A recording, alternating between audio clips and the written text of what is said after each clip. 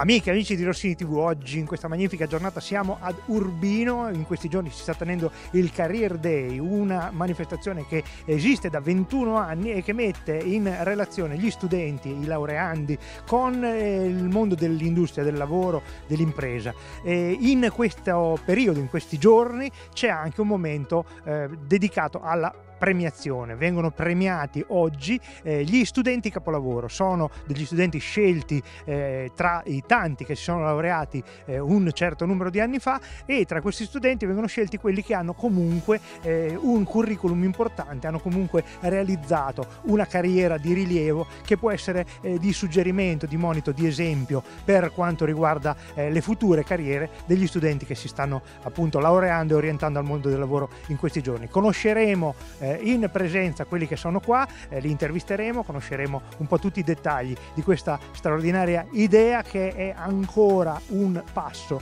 che eh, l'università fa e ha fatto ormai da parecchi anni per integrarsi, inserirsi, per fondersi col mondo del lavoro.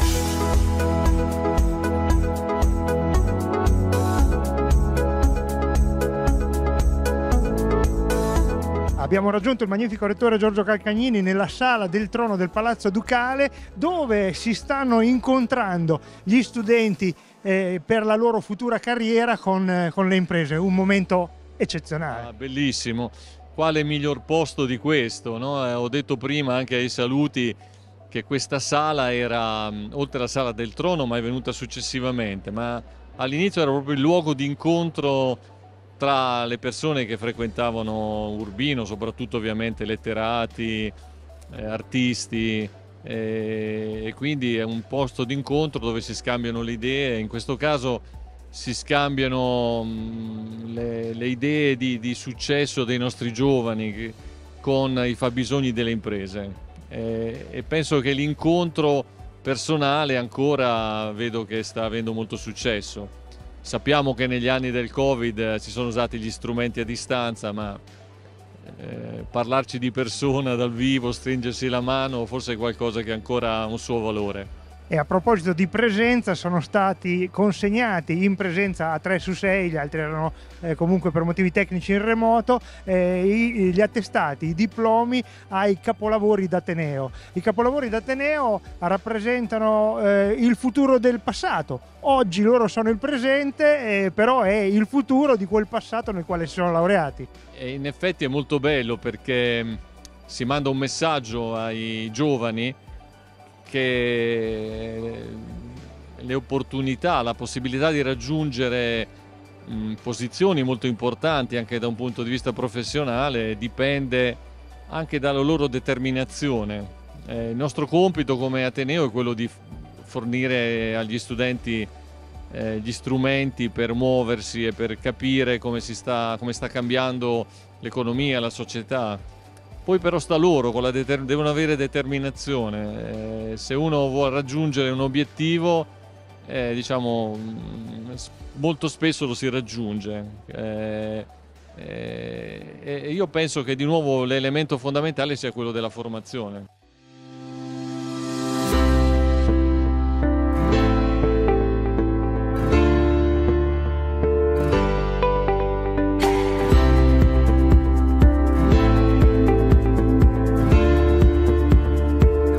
Col professor Alessandro Aldini, delegato rettorale ai tirocini formativi al placement. Ho detto tutto bene? Perfetto. Allora, a lui voglio fare una domanda particolare, che è questa. Io ho assistito a, tutto, a tutta la, la, giornata, che tra l'altro è toccante, è strepitosa e straordinaria. No? Il percorso universitario è un percorso di circa 4-5 anni in una decina d'anni di vita in cui nella vita di una persona cambia tutto, no? dai 10 ai 22 ai 23. Poi sembra che finisca tutto lì per chi vive all'interno dell'università Oggi invece da parte vostra eh, c'è questo confronto col fatto che il mondo è andato avanti e questi studenti hanno raggiunto dei risultati straordinari, un po' uno sguardo sul futuro. Questo è assolutamente vero, ormai già da anni noi riteniamo che l'orientamento non riguardi solo l'ingresso nel mondo accademico, ma riguardi anche e soprattutto l'uscita e quindi il momento in cui i nostri giovani laureati vivono la, la fase più critica, se vogliamo, della loro vita, perché escono da un percorso eh, di studi in cui hanno maturato determinate esperienze e si affacciano verso un mondo che per loro è completamente nuovo, completamente diverso. E noi in questa fase vogliamo eh, rappresentare quell'anello di congiunzione che permette di mettere in, in contatto eh, laureate e laureati con il mondo delle imprese. Questo è l'obiettivo che ci siamo posti con eventi come il Career Day. Questo è anche il motivo per cui oramai da anni promuoviamo questa diciamo, celebrazione dei laureati che secondo noi nel corso degli anni hanno dimostrato di saper mettere in pratica quanto hanno acquisito nel percorso di studi attraverso una carriera che noi riteniamo brillante e questo per noi è importante perché eh, presentare ai nostri studenti e alle nostre studentesse questi esempi possa essere per loro una sorta di, di stimolo a dare il meglio di sé e a non avere paura del futuro.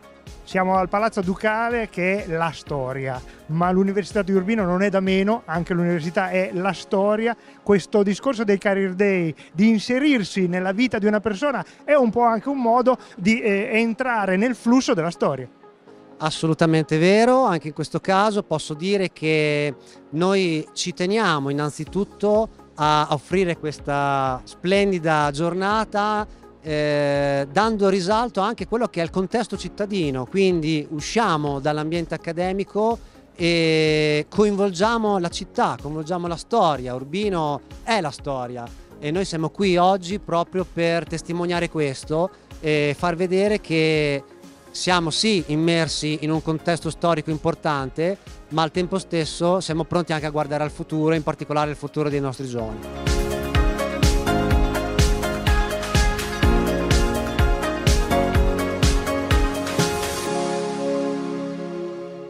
Degli studenti capolavoro in presenza, Enrico Grassi, abbiamo ascoltato eh, tutto quello che ci ha raccontato e ci è rimasta in testa un'idea. L'Europa esiste ed è comunque un'Europa conquistabile anche dalla provincia, dalla piccola provincia?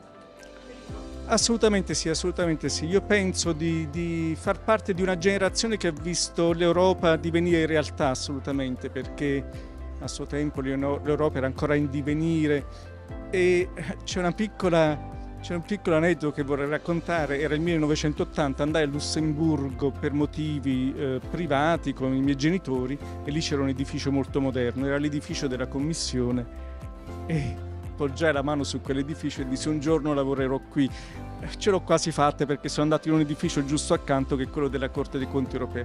Però detto questo sì, eh, l'Europa arriva anche a livello locale i fondi europei vengono erogati per iniziative di carattere strategico internazionale, nazionale, ma anche regionale e locale. Tant'è vero che le autorità di gestione sono eh, in, in, moltissimi casi di carattere regionale, vengono proprio gestiti, i soldi vengono gestiti dalla regione per tener conto anche delle unicità e delle caratteristiche distintive delle realtà locali, quindi assolutamente eh, è molto importante che l'Europa dia un attimino l'esempio ma che si adegui anche alle, alle, alle caratteristiche locali e viceversa e che, e che eh, le autorità locali e le realtà locali vedano nell'Europa un, un'opportunità da cogliere e sicuramente anche un modello da, da, da, da vedere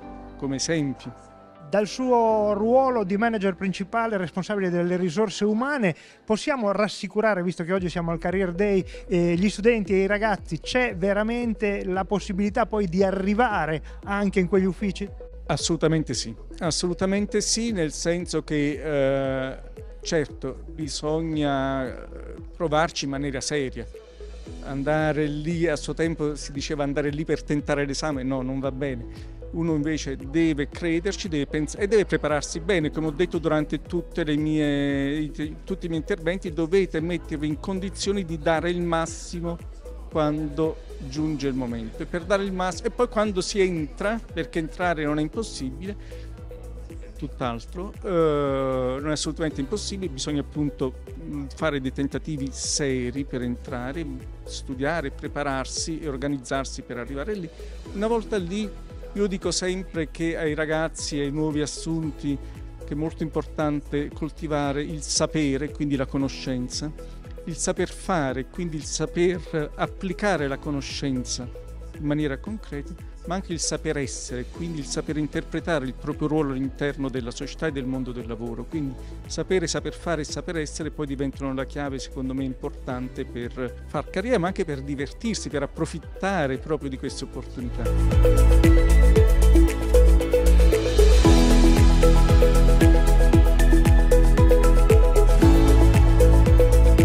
Cecilia Felici, studente capolavoro, intervento capolavoro. Devo dire la verità, ti ho ascoltato con emozione e spieghiamo ai telespettatori che questa confidenza dipende da un'antica conoscenza. Eh, ti ho ascoltato con eh, attenzione e ho visto che però eh, tutta la platea ascoltava trattenendo quasi il fiato. Eh, lasciamo stare che poi io quasi mi sono commosso, ma la comunicazione eh, deve arrivare a emozionare?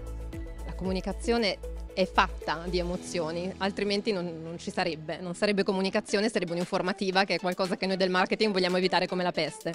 Eh, grazie per le tue parole Paolo, noi ci conosciamo da un po' e devo dire che il seme della comunicazione in Sicilia l'ha in qualche modo piantato proprio Paolo Pagnini che attraverso la, la sua attività di grandissimo comunicatore nell'esperienza di Pesaro Village di tanti anni fa ed è lì, tra, dalle prime esperienze che fai da ragazza, che capisci l'importanza di entrare in relazione con le persone e soprattutto la responsabilità di quello che dici. Quindi i messaggi che vuoi veicolare affinché le altre persone possano uscire da quel momento di confronto arricchite abbiamo ascoltato la tua storia, abbiamo ascoltato soprattutto l'esortazione che hai fatto al, ai ragazzi, agli studenti e mi è piaciuto molto il discorso sul marketing perché noi tutto sommato, essendo una tv, facciamo anche un po' quello, no? Cioè cerchiamo di far arrivare quello che fa star bene alle persone. Questo è il succo? Sì, assolutamente, io lo dico sempre, faccio il lavoro più bello del mondo perché il marketing è felicità, è avere a che fare con la soddisfazione della persona a cui ti rivolgi. E quindi chiaramente non puoi non creare una relazione che sia il più positiva possibile, partendo sempre però dall'altro, no? Dobbiamo imparare a fare un passettino indietro noi, essere meno autoreferenziali, meno concentrati su noi stessi, sui nostri obiettivi e imparare l'ascolto, quindi ascoltare l'altro, la persona con cui vuoi entrare in relazione. Questo è l'unico modo per poter mettere in piedi un, un marketing vincente. Quando praticamente si vive come base e si ha il mondo, eh, si riesce a mantenere comunque ancora il legame con Urbino come città dove ci si è laureati, con Pesaro come città dove si vive e dove vive comunque la famiglia? Allora, guarda, assolutamente sì, perché le radici sono straradicate, fortissime e non si, non si tirano mai fuori. Eh, nel mio caso specifico io sono atterrata ieri sera, quindi ho preso un treno di corsa e sono venuta qua perché ci tenevo ad essere fisicamente nella mia città. La mia città e la, la città in cui ho avuto l'opportunità di studiare, la città che mi ha dato tanto, no? perché eh, mi piace moltissimo mh, mm, questo concetto un po' americano del dare indietro, no? del give back. Hai ricevuto tanto dalla vita è giusto che tu dia qualche cosa. Quindi questo essere presente fisicamente per me qui oggi in Urbino è un pochettino come voler ridare indietro alla mia città, alla città che mi ha ospitato, una parte di quello che mi ha poi lei a sua volta dato.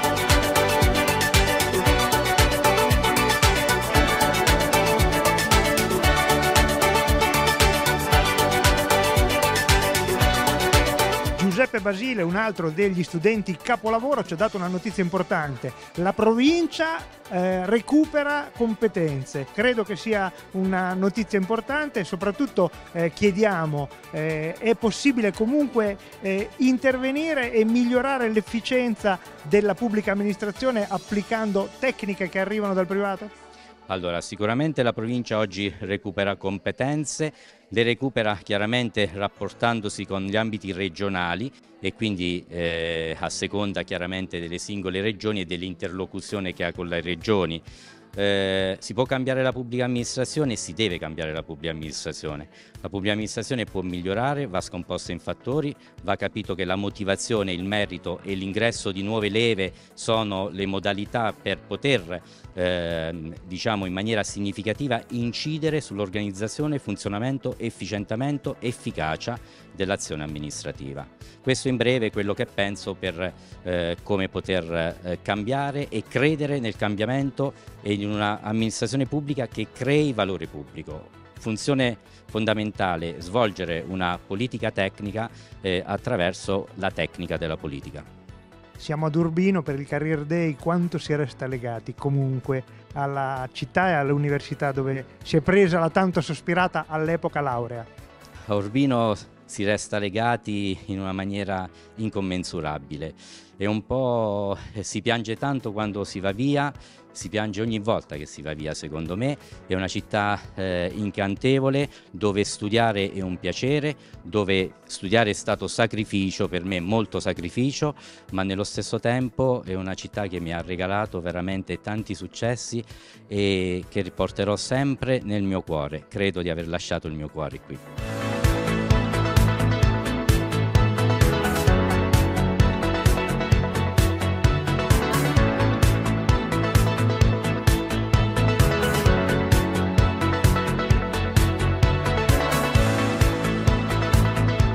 Conclude questa giornata ad Urbino nella quale vi abbiamo fatto conoscere i dettagli del Career Day e la premiazione del eh, prestigioso riconoscimento capolavoro di Ateneo. La viva voce dei protagonisti ha accompagnato le nostre stupende immagini, come sempre vi ringraziamo per averci seguito e vi invitiamo a restare sempre sul canale 80 di Rossini TV.